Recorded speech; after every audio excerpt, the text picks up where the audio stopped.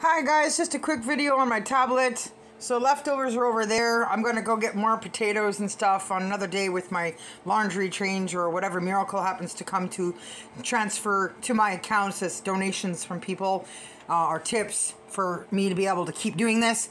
Um, but this is great for me. It's just me. I'm going to put it in the oven.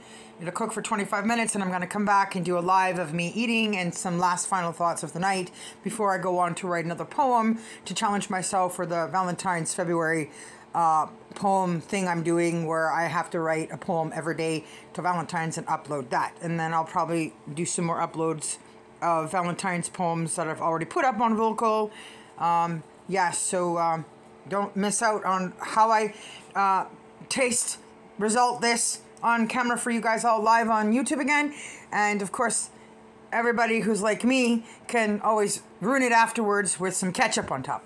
I don't know if I will this time, but usually I do because I am a ketchup girl. Okay, peace out, everyone. Bye. I gotta go put that away.